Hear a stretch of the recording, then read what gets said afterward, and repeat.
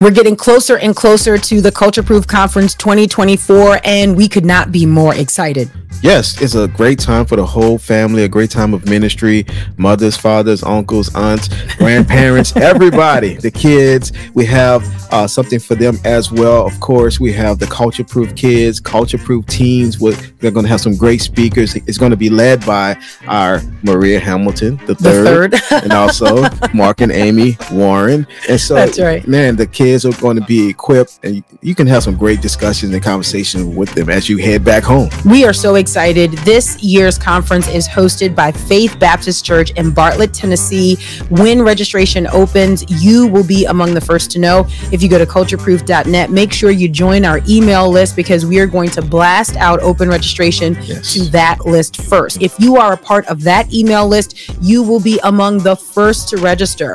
And um, rumor has it that there's a special treat involved for those who register early. So stay wow. connected, cultureproof.net, cultureproof.net. We're super excited about our guests who are all joining to talk about one thing mm. resisting the cultural resisting. trends that yes. rival the truth. Yes. We're going to be talking about the ways that we can remain culture proof from mm-hmm. scientific apologetics, biblical apologetics, cultural apologetics. Yes. How do we live in this world as faithful followers of Christ? We're going to target every age group, so make sure you show up and bring your entire family. Yes, we're going to have a great lineup of speakers, which you'll be able to view their bios on the website, cultureproof.net. Once you go on, Abraham Hamilton III, Miki Addison. We're going to have Dr. Jason Loud, Dr. Kathy Cook, and others. Dr. Renton Rathbun, Dr. Lee Brand. We are super excited. Dr. Turin Dames. Mm-hmm. I feel like by next conference, I'm going to also have my doctorate just because it kind of flows. Anyway, hey. we're super excited about what the Lord is doing, and we want you to join us. The Culture Proof Conference happening July 18th through the 20th at Faith Baptist Church in Bartlett, Tennessee. Stay connected because more information about that is rolling out just around the corner. You're going to find that at cultureproof.net, cultureproof.net. Make sure you join the email list. We can't wait. Uh-huh. Hello. You're listening to Culture Proof. This is Wil and you're listening to Wednesdays with Wil. You know, I'm just glad to be with you. Um, this is something that we did when we had our other radio show airing Addisons. Every Wednesday, I would take the time to have the show to myself and I would talk about various issues from the scripture. And uh, since we have transitioned to doing culture proof, uh, I haven't been doing the Wednesdays with Wil. So I, I figured that um, this would be a great opportunity to kind of just share a little bit uh, more of uh, what's on my heart and what's on my mind as we uh, navigate these cultural issues. You know, we are adamant that the straight edge of scripture is where we uh, get all of our answers from. And so today, I want to present to you um, the spiritual responsibilities of men. The spiritual responsibilities of men. Um, just a couple of announcements. Just remember that Culture Proof Conference 2024 will be happening July 18th through the 20th in Bartlett, Tennessee at Faith Baptist Church. Uh, that's right outside of Memphis, Tennessee. And so if you're going to fly in, you're flying to the Memphis International Airport. But man, we would love for you to be there. Go to cultureproof.net, cultureproof.net, and uh, register. Register today. See, this conference is a conference for the total family, for, for the whole family. Uh, we uh, believe in ministering to mother, father, children, grandparents, uncles, aunts. Man, all hands have to be on deck. There's a lot that's going on, and we talk about them about it every day uh, on the Culture Proof podcast. But man, we have a responsibility as parents to hold the line we have a responsibility to be engaged. We have a responsibility uh, to be informed, to understand what's happening, and to apply the straight edge of Scripture to all of these different things that's that's going on. You know, there's a lot of different answers you can you can get from various sources, but there's no source, no source like the Bible, the Word of God, tells us exactly how we should navigate every issue that we face.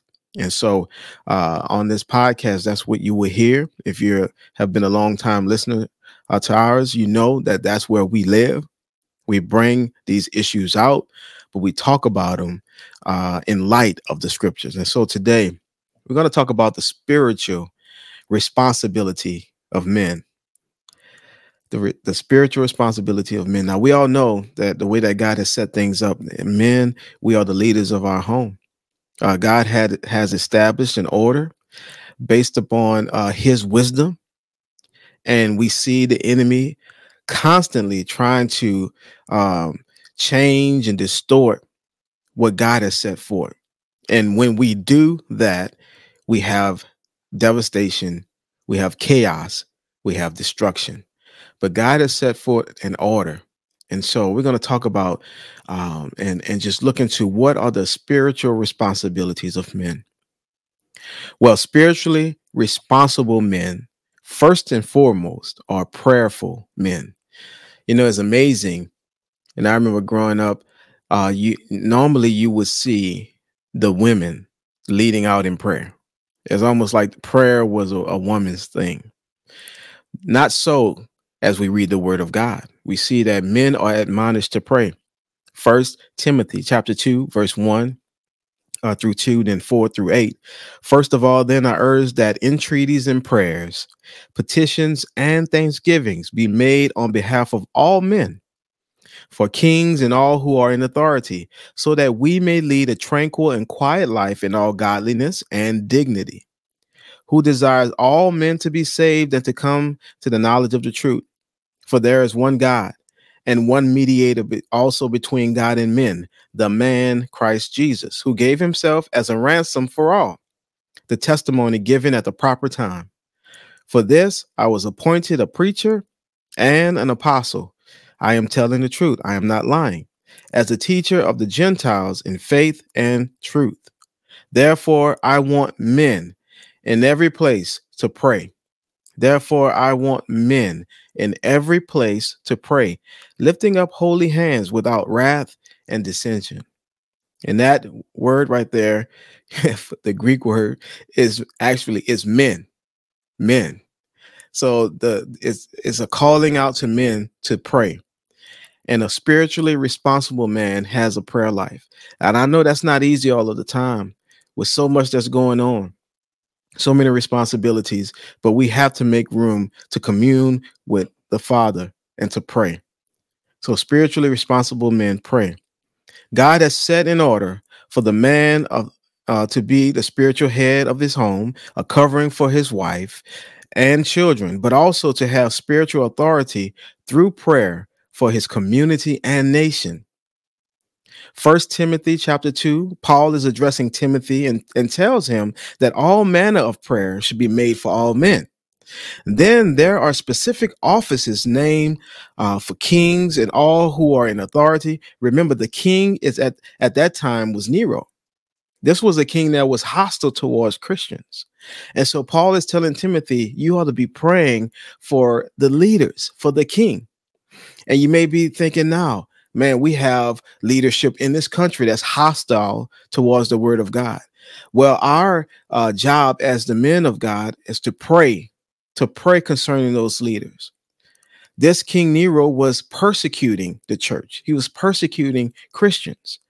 The man of God is to pray for those in authority, even if they disagree with him or dislike him. See, that can be very tough when you know people are not doing right, not doing good, the admonishment to us is to pray. You know, I remember the Lord uh, speaking to my heart, saying, if you would pray as much as you complain, there would be a lot more good that could be done. A lot of times we find it easy to complain, easy to complain, but hard to pray. Prayer rubs up against our flesh. We don't, our flesh don't desire to pray. Our, our flesh does not desire that. But this is a spiritual exercise. We have to ask the Lord to help us to be a prayerful people. Why should we pray for these?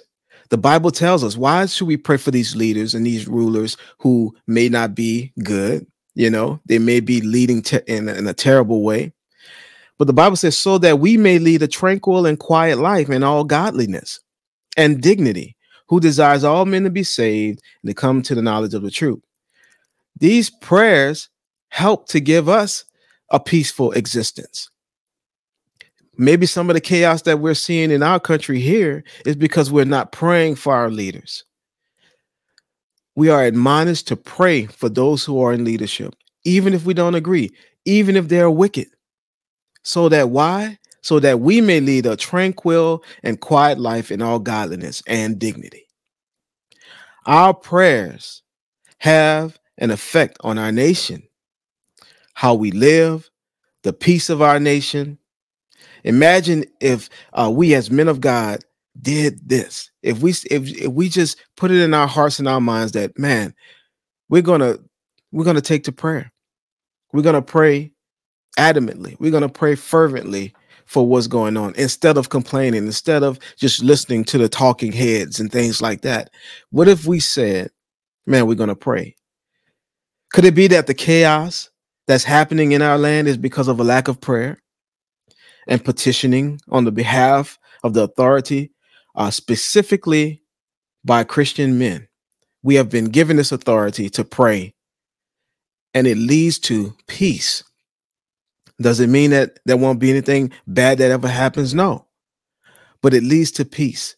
This is the instruction of the Lord through the Apostle Paul. For there is one God. This is First uh, Timothy chapter two, verse five through seven. For there is one God and one mediator also between God and men, the man Christ Jesus, who gave himself as a ransom for all. The testimony given at the proper time. For this I was appointed a preacher and an apostle. And he says, I'm telling the truth, I am not lying, as a teacher of the Gentiles in faith and truth. Then Paul tells Timothy, uh, Tim, First Timothy uh, 2 8. Therefore, I want men every in every place to pray, lifting up holy hands without wrath and dissension. Men to pray in every place, lifting up holy hands. So it's not just um, the prayers in itself, but it's the prayers of holy men, ones who are upright, ones who are seeking God we have a spiritual responsibility as men of God to pray and to be ones who pray consistently. This is a direct encouragement to men specifically. We are not to delegate prayer or make it a thing that only women partake in. And for a long time, we have done that, as I said before. Men are to pray lifting up holy hands without wrath and dissension. We have to pray more than we complain. This episode of Culture Proof is brought to you by the Zan Tyler podcast, Thriving in Your Homeschool. Zan is an incredible author, speaker, and activist. She led the battle for homeschool freedom in South Carolina when, as a young mother, she was threatened with jail time for choosing to teach her own children at home.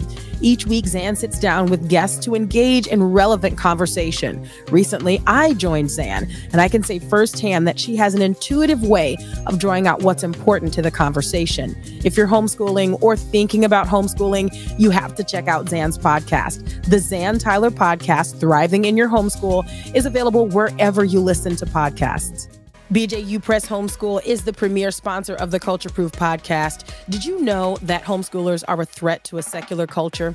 It's true. For a society that envisions public education as the means by which it will indoctrinate future generations, destroy the proliferation of the gospel, and disintegrate the republic, homeschoolers are de facto revolutionaries. But all homeschooling is not created equal. What makes your kid's education Christian is not the fact that you are one. This is why we trust BJU Press Homeschool to help us seamlessly disciple our children, even in their core subjects. We don't want a secular education that uses Bible verses as frosting. We want the knowledge of God preserved at every phase of what our kids are taught. Consider BJU Press Homeschool for all of your homeschooling needs. We trust them to back us as we grow the resistance. You can too. Visit bjupress.com today. That's bjupress.com. Number one, a spiritually responsible man is a man of prayer. Number two, a spiritually responsible man, man is a man that is all the way present. A spiritually responsible man is a man that's all the way present. We remember back in the garden, Genesis chapter 3, verse 1 through 7. It says, Now the serpent was more crafty than any beast of the field which the Lord God had made. And he said to the woman, Indeed, as God said, you shall eat from any tree of the garden. The woman said to the serpent, From the fruit of the trees of the garden we may eat, but from the fruit of the tree which is in the middle of the garden, God has said, You shall not eat from it or touch it, or you will die. the serpent said to the woman, You surely will not die. For God knows that in the day you eat from it, your eyes will be opened and you will be like God, knowing good and evil. When the woman saw that the tree was good for food, and that it was a delight to the eyes, and that the tree was desirable to make one wise, she took from its fruit and ate. And she gave also to her husband with her, and he ate. Then the eyes of both of them were opened and they knew that they were naked. And they sewed fig leaves together and made themselves loin coverings. so this first account of sin entering into the world, it had to do with the man not being present all the way. Because we get here that even though the, the, the serpent came and was talking to the woman, that the man was there with her. He wasn't present all the way. His job was to step in and say, Hold on. This is not what God has told us. This is not what he has said to do. This is disobedience. We are not going to follow along with what this serpent is saying. But instead, we see him being pretty quiet and also partaking in eating this fruit. Are we present in our families as men? There's so many talking snakes and different things that come along to try to like infiltrate our families. But we as men, we serve as those buffers, as that boundary piece that will stop the enemy from coming in. But if we're not all the way present, he has easy access. Beyond our physical presence, are we checked in emotionally? Are we being the covering, the spiritual covering for our families? See, it's not enough that you say, "Well, I go and I, I, um, I make, uh, you know, I make the bacon, man. I come home, I bring home the bacon." No, what are we doing by way of discipleship in our home? What are we doing to help uh, to cultivate and to love our wives, to build them up, that they are growing in in, in uh, the things of the Lord? What are we doing to make sure that our children are, are being trained in the upright way to, to, to live in the admonition of the Lord? Are we as men have this responsibility? In Genesis chapter 3, the serpent strikes up a conversation with the woman. A lot of times, the enemy will try to start right there with our wives, with the woman. Are we there to say, hold on, we're not going to give ear to what the enemy is saying? Or we checked out and, and he has like full reign? The serpent question, the serpent's question, uh, the serpent questioned God's instructions, twisted what God has said, and also caused the woman to doubt. And the interesting thing is that while the whole conversation was happening, the man was right there, as I said before. This whole conversation is going on with this serpent, and the man is right there. When the woman saw that the tree was good for food, and that it was a delight to the eyes, and that the tree was desirable to make one wise, she took from its fruit and ate, and she gave also to her husband with her. She gave also to her husband with her, and he ate. Spiritually responsible men are checked in. They're all the way in. Physically, spiritually, emotionally, mentally. It's not uh, a good thing that they're just there present in body, but not engaged and active in the things that are happening in the home.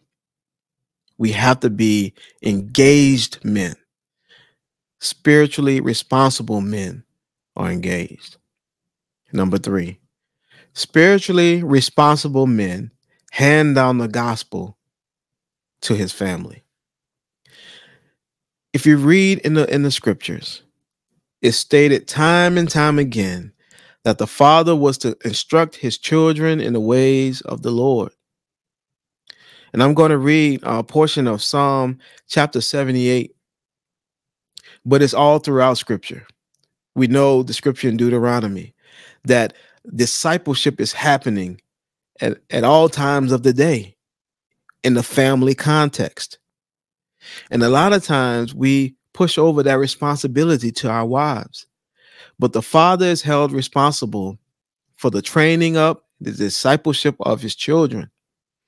Now, if you have a wife like my wife, who's a great teacher, who has a lot of different giftings, yes, that is supposed to happen. That teaching is supposed to go forward. But I'm ultimately responsible that it happens. You get me? I'm responsible as the man that this is happening. And I'm responsible to be engaged and to teach as well and to make sure that my wife is using her giftings and talents for the glory of God, first of all, in our homes or in our home. First of all, in our home. Psalm chapter 78, verse 5 through 8, it says, For he established a testimony in Jacob and appointed a law in Israel, which he commanded our fathers that they should teach them to their children, that the generation to come might know, even the children yet to be born, that they may arise and tell them to their children, that they should put their confidence in God and not forget the works of God, but keep his commandments and not be like their fathers, a stubborn and rebellious generation, a generation that did not prepare its heart and whose spirit was not faithful to God. We are held responsible for passing the faith down to our children. And I'm speaking to the spiritually uh, responsible men or the spiritual responsibility of men. Our wives definitely aid us in this work.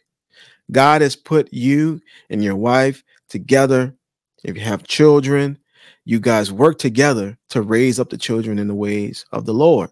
So our our, our wives aid us in this work. But like we know, the man is responsible to get it done. The man is responsible to get it get it done. A question for all men listening Do you have a family mission? Do you have a family mission? Is that something that um, God has laid upon your heart that your family is, is supposed to be about for his kingdom? When we think of your family, when when your family name is mentioned, is there a mission that's tied to that name? You know, God spoke to my heart just a few years ago about having a family mission. I got with God and I prayed, and Lord, what should our family mission be? And this is what He spoke to my heart Addison Family Mission. Our family as a unit will use our talents, giftings, and abilities for the glory and honor of God. Everything that we have has come from the Father Every gifting we possess is powered by the Holy Spirit. Therefore, whether it's speaking, preaching, sports, music, or any art form, it's all for the glory and honor of God and the advancement of the kingdom of God. In a couple of scriptures, it was First Corinthians chapter 10, verse 31. So uh, whether you eat or drink or whatever you do, do all to the glory of God. And then Colossians chapter 3, verse 23 and 24. In whatever I do, I personalized it. I will work heartily as for the Lord rather than for men, knowing that from the Lord I will receive the reward of the inheritance. It is the Lord Christ whom I serve. It's important, men, that you have a family mission. And if you pray, the Lord will show you, based upon your family makeup, what the mission of your family is. And it's something that we have in a prominent place in our home, right over the kitchen table, where everyone can see this is the family mission. This is our aim. This is what the Lord has, has impressed upon the Addison family. Do you have a family mission? I believe that spiritually responsible men pray for a family mission. You know, there's a lot of talk about submission and obedience, and, you know, wives, submit to your husband. Come under, submit, come under a mission. But if you have no mission, what is she submitting to? It's on you, Father. It's on you, Dad, to have a mission, to get with the Lord and say, God, what is the mission for my family? What are we about? How do we bring glory to your name? Write it out, post it up so everyone can see. Everyone in the, in the, in the family can see this is where we're going. This is what we're about. All right. Spiritually responsible men are available to train and help younger men. And this would be the last point. Spiritually responsible men are available to train and help younger men. The Bible says in Titus chapter 2, verse 6 through 8 likewise urge the young men to be sensible in all things, uh, to show yourself to be an example of good deeds with purity in doctrine, dignified, sound in speech, which is beyond reproach, so that the opponent will be put to shame, having nothing bad to say about us. We have to be in a position, especially in the culture that we live in today, as older men, to teach younger men. It's discipleship. And you have to first start in your home. I have four young men in my home, four sons. Ministry first starts at home. And so I have to have a heart as a spiritually responsible man to raise up my four boys in the way that they should go. They should see godliness. They should see dignity. They should see a life that's committed to following Christ. Spiritually responsible men pass this type of legacy on. Yes, it's good to have an inheritance for your children that's monetary, financial inheritances, things like that. But a godly legacy, man, that's unshakable. That's something that we should uh, uh, look to present to all of our children, sons and daughters. And so, spiritually responsible men, they know how to lead and to disciple younger men. Not only in the home, but we start there but it has to carry on even to our local fellowships. It could be even in our uh, neighborhoods. How can how how can we, as spiritually responsible men, help other young men to see the light of Christ? How can we do that? Looking for ways to help those who you know m- may not know their right from their left. If God has saved you, he has saved you for a purpose, not so that you can just have your spot within the church and sit down. This is where I sit. No, He has saved you, He has filled you for purpose because He wants you to pass that on to others. Second Timothy chapter 2 verse 2 the things which you have heard from me in the presence of many witnesses Entrust these to faithful men who will be able to teach others also. Discipleship. That's what this is life on life. Being able to have a Paul that's pouring into your life and a Timothy that whose life you're pouring into. That should be the aim of spiritually responsible men. Who's pouring into me and who can I pour into? And so just to summarize or to go go back. Spiritually responsible men are number one prayerful. We are men of prayer. Spiritually responsible men are all the way present. We are men who are engaged. Spiritually responsible men hand down the gospel to his family The family should be the first stop for the gospel. If the first place that your children hear the gospel is at church, I would beg to say that you have failed. Praise God that they hear it there, but they should hear it in the home first. And spiritually responsible men are available to train and help younger men. With lives that are so busy as our lives are, are you available to train other men? First, the men that may be in your home, but also ones in your local fellowship or your neighborhood. These are the marks of spiritually responsible men. These are the type of men that resist the cultural trends that rival the truth so that we can remain cultural. Until next time, Lord willing, God bless.